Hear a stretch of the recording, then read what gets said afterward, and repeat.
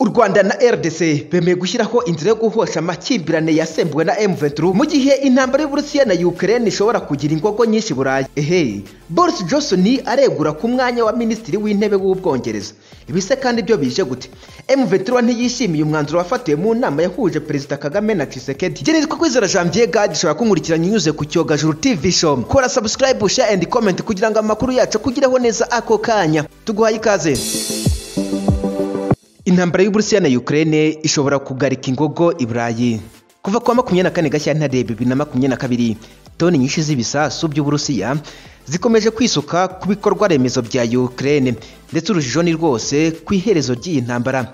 Ni ibintu bitaherukaga hagati y'ibihugu by'i burayi. Ni urugamba rwanuganuzwe igihe kirekire. Haherewe ku makenga n'urwikekwe hagati ya nato north atlantic trek organization n'uburusiya nato ni ihuriro rya gisirikare rigizwe n'ibihugu mirongo itatu birimo makumyabiri n'umunani byo mu burayi wongeyeho leta zunze ubumwe za amerika na canada. Ni ibihugu byitwara nk'ibihatse isi kubera ingingo ya gatanu y'amategeko ryubakiyeho. Iteganya ko igitero kigabwe kuri bumwe cyangwa benshi mu banyamuryango gifatwa nk'ikigabye ku banyamuryango bose bagafatanya kwivugana umwanzi. Nibwo bufatanye bwagendeweho barasa kuri afghanistan mu mwaka wa bibiri na rimwe cyangwa libiya mu mwaka wa bibiri na cumi na rimwe ubwo bashyiraga iherezo ku butegetsi bwa koroneli muhammad kadafi umuvugizi w'ihangana rya nato n'uburusiya reka duhere ubwo nato yashingwaga mu mwaka w'igihumbi kimwe magana cyenda mirongo ine n'icyenda. Icyo gihe yari igizwe n'ibihugu cumi na bibiri gusa. Iri huriro ryashinzwe mu bihe by'intambara y'ubutita. Intego nyamukuru yari uguhangana n'igitugu cy'ubumwe bw'abasoviyete bwahurizaga hamwe repubulika cumi n'eshanu. Abashinze nato bashakaga gukumira icyo gihugu cya rutura cyari gifite kilometero kare miliyoni makumyabiri n'ebyiri n'ibice bine. Ko cyakomeza kwagura amaboko. Kikagurira ibindi bihugu byo mu burayi ndetse kikototera n'ibindi bice. Mu mwaka w'igihumbi kimwe magana cyenda mirongo icyenda na rimwe icyari ubumwe bw'abasoviyete cyacitsemo ibice kubera imvururu za politike. Kirandukana n'ubutegetsi bwa Mikhail Gorbachev. Hahise havuka itsinda ry'ibihugu cumi na bitanu by'uburusiya ari byo Ukraine Armenia Belarus, Estonia, Georgia, Kazakhstan, Latvia, Lithuania, Moldova n'ibindi bitandukanye. Ubumwe bw'abasoviyete bwatumye NATO ishingwa bwararimbutse yo isigara ahubwo ikomera kurushaho. Benshi mu mpuguke batekerezaga ko kuva ubumwe bw'abasoviyete busenyutse ibihugu byo mu burengerazuba bishobora kubaka imibanire mishya n'uburusiya ariko siko byagenze. Umwanya uhoraho Soviet Union yari ifite mu kanama k'umuryango w'abibumbye gashinzwe umutekano na ambasade yari ifite mu mahanga byabaye iby'uburusiya. M23 ivuga ko ititeguye gukurikiza ibyasabwe n'inama ya Tshisekedi na Perezida Paul Kagame w'u Rwanda. Umutwe wa M makumyabiri na gatatu watangaje ko utiteguye gukurikiza ibyemejwe n'inama yateraniye i Rwanda muri Angola. Yagusabye kuva mu duce twose yafashe ngo kuko nta handi ifite ho kujya. Kuri uyu wa gatatu tariki ya gatandatu Nyakanga ni bwo Perezida Paul Kagame w'u Rwanda na Felix Antoine Tshisekedi Chilombo wa DRC bahuriye i Rwanda mu murwa mukuru wa Angola mu nama yigaga ku kibazo cy'umutekano muke uri mu burasirazuba bwa Congo. Hari ku buhuza bwa perezida Joao Lourenco iki kibazo cy'umutwe wa M makumyabiri na gatatu umaze igihe mu mirwano na FARDC kiri mu byaganiriweho. Binajyanye no kuba Kinshasa ishinza Kigali kuba ari yiwutera inkunga. Kuri ubu ibyumweru birakabakaba bine M23 yigaruriye umujyi wa Bunagana uri ku mupaka wa Kongo Kinshasa na Uganda. Uyu mutwe kandi uheruka gutangaza ko hari utundi duce cumi na dutanu two muri teritwari ya Rucuru uri kugenzura. Turimo akabikenke bugina mbuzi kinihira mutovu muhimbira shangi na nkokwe. M23 kandi iragenzura kavumu nyabikona cyanda rutsiro kashari bukima na musezero. Inama y'u Rwanda cyakora cyo yanzuye ko uyu mutwe uhagarika imirwano. Umwe mu myanzuro y'iyi nama usaba M23 guhagarika imirwano no kuva byako kanya mu bice yafashe hisunzwe imyanzuro y'inama ya Nairobi. M23 cyakora cyo binyuze mu muvugizi wayo Major Ngoma yatangaje ko iki kibazo cyayo ari ikibazo cya politike kireba abanyekongo kidakwiye kuganirwaho hagati y'u Rwanda na Kongo agira ati turahava kugira ngo tujye he kugira ngo dusubire mu buhungiro. Twe turi abanyekongo. Muragira ngo tubeho nta gihugu tugira. Meja Wiringoma waganiraga na BBC yunzemo ko biriya biganiro ntacyo bizageraho. Ashimangira ko we na bagenzi be barwanira impamvu nziza kandi y'ukuri. M23 mu busanzwe ivuga ko irwanira abanyekongo bavuga ururimi rw'ikinyarwanda. Ivuga ko bahejwe na leta ya Kongo inama ya Ngora yavuze ko bene izi mvugo zuje urwango zitemewe mu karere. Isaba ko abazikoresha Kongo kubyirinda. Ikindi cyogajuru TV show.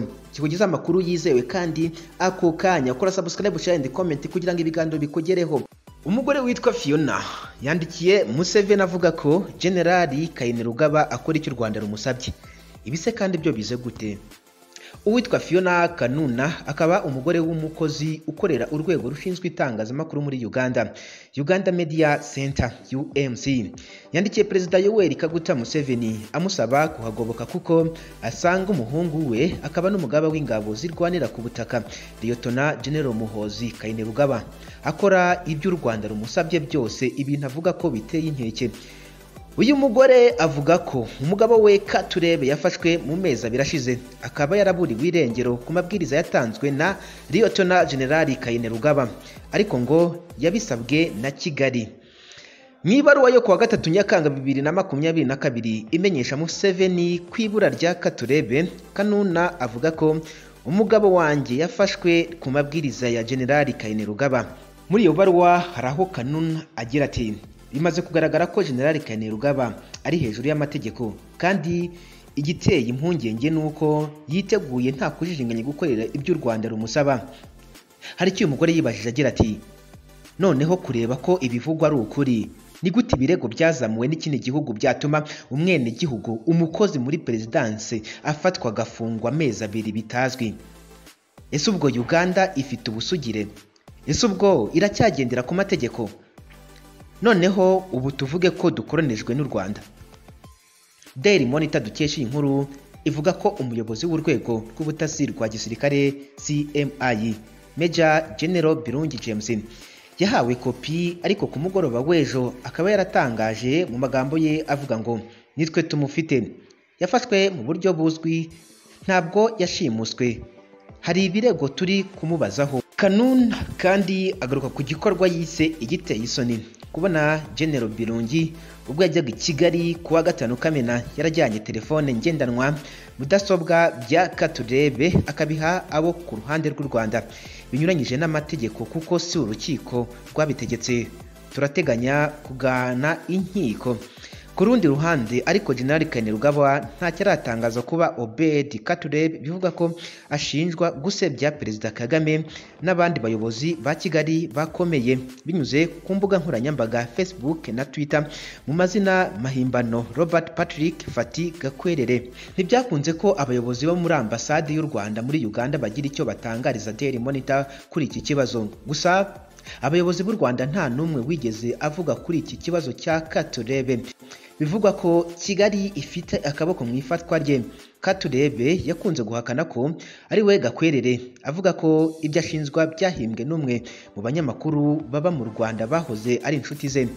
Umuyobozi we Ofonwu Opondo yari yavuze ko yari yavuze ko Katurebe atafunzwe ahubwo yagiye gucungirwa umutekano kuko hari abamuhigaga ngo bamwivugane. Boris Johnson aregura ku mwanya wo kuba minisitiri w'intebe. Bise kandi ngo byo bije bite? Uyu munsi bwana Johnson ni Boris aregura ku mwanya wo kuba minisitiri w'intebe w'ubwongereza kubera igitutu cy'abagize guverinoma bari kwegura ubutitsa. Amakuru Sky News dukesha iyi nkuru yabonye. Ni uko bwana Johnson yavuganye n'umuyobozi wa Conservative Back Bank igihumbi kimwe magana cyenda makumyabiri na kabiri komiti Sir Graham Brady maze amwemera ko agiye kweguraho azasimburwa n'umuyobozi wa Tory uzashyirwaho n'inama y'ishyaka izaba mu kwakira. Umuvugizi wihariye yagize ati uyu munsi minisitiri w'intebe aragira icyo atangariza igihugu. Ibi bije nyuma y'aho umunyamabanga mushya w'uburezi Michael Donella yeguye ku mirimo ye nyuma y'amasaha mirongo itatu n'atandatu yari amaze kuri uwo mwanya. Chancellor Nadim Zahawi yabwiye minisitiri w'intebe genda nonaha. Hanyuma umunyamabanga w'ingabo Ben Welasi yikura mu bashyigikiye Johnson. Bikurikiranye kandi n'igitutu gikomeye bwana johnson yashyizweho n'abo mu ishyaka rye n'abaminisitiri benshi beguye umusubirizo.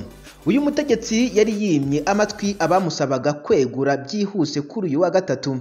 Nubwo aba babimusabaga bari basanzwe ari abanyamuryango be b'imbere yizeraga barimo na Priti Patel na Grand Shapte umunyamabanga wa leta wa Pays de Gare Wells Simon Hati ni we mutegetsi wa leta ye weguye bwa nyuma mu gihe umucamanza mukuru Suelle Braverman nawe yatangiye kugaragaza ibitagenda neza. Mu guhangana n'abamurwanya Boris Johnson yirukanye umunyamabanga ushinzwe imibereho myiza n'uburinganire Michael Gove mu buryo butashimwe na benshi. Reka ngushimire wowe twabanye ndakwibutsa ko ukomeje gukurira icyogajuru TV show YouTube channel igufitiye amakuru agezweho ako kanya. Njye nitwa kwizera Jean Pierre Gadi.